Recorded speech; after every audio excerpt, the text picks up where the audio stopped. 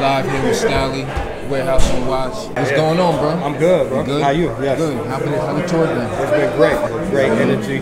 Right people in the building. Definitely. Loving it, man. Definitely. Loving it. Tell us a little bit about the album real quick.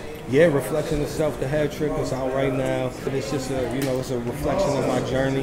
It's the most current that I've been with myself and my music. I've always reflected and I've always spoken on, you know, things that I've been through or seen.